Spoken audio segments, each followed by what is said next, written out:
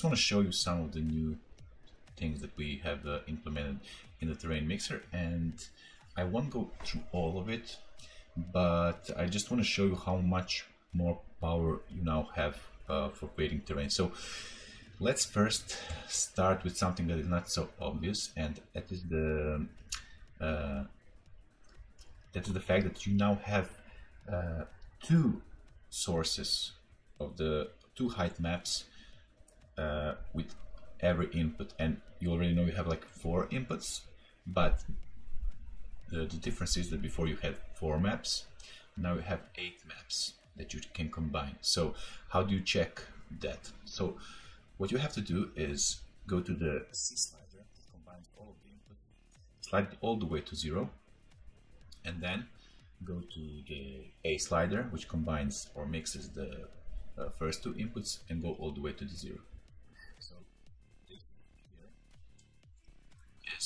the input one but as I mentioned, the input one actually has two sources which you can combine. And you do that by going to the switch. You see these four rows that say switch one, switch two, switch three, switch four.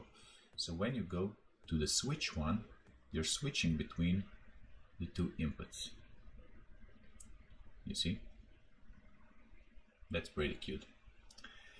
And uh, also you what you might notice that uh, wasn't here before is the blend option. Now this means that you're actually blending the way that you're blending between the first two inputs. For example increase this value.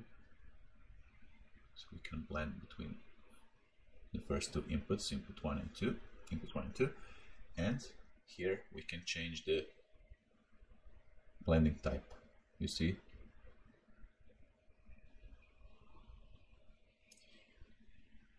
So it's similar as in Photoshop or you know any other application but this affects terrain a lot. So I think that even if you would just stay playing between inputs 1 and 2 you would get a lot more power than in previous version but that's not all. Now look at this. If I scroll down all the way to the to the row where it says scale one mirror and subtractor one. Now check what check what uh, this will do. If I scroll to the right I mirrored the terrain on X and y axis and of course this is not just for mirroring. You can go you know and choose some uh, value between you know which totally changes the terrain as you can see.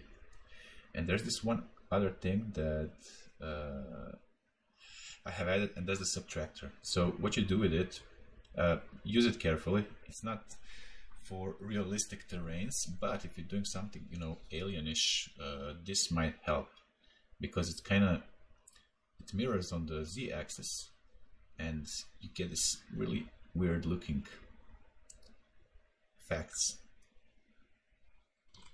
you see? It can work I think. Oh, what else let's see uh, if you haven't noticed uh, before in the previous version uh, you also you can also clip the terrain from the bottom and the top inside the 3D viewport with this uh, properties menu. So what you can do is go here. Just let me slide this back to zero because you'll see it better like this so what you can do is you can go here input one clip one bottom and slide it to the right you see and input one clip one top. Slide it to the left. You see which how the terrain is uh, kind of clipping. And of course if you blend this bit more for example with the inputs 3 and 4 and we do this with the C slider you can get even better result.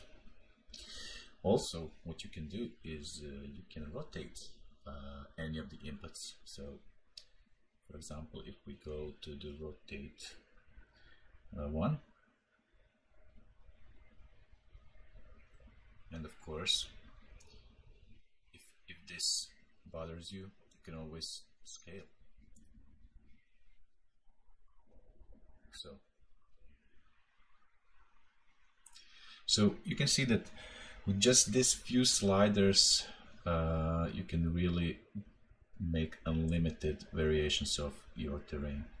And we're only we're only playing with the two uh, height maps, and you have six more of them to combine. So yeah, have fun, and I really hope that you'll enjoy this uh, version that should be up in 48 hours, available for download. Uh, so yeah, until then, play with the previous one. Uh, cheers.